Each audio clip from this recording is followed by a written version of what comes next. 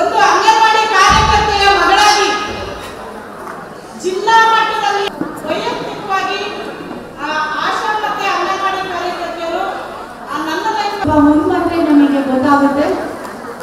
ನುಕ್ಸಾನ ಆ ಜೋಕಿಗೆ ಅಷ್ಟೇ. ಇಷ್ಟೊಂದು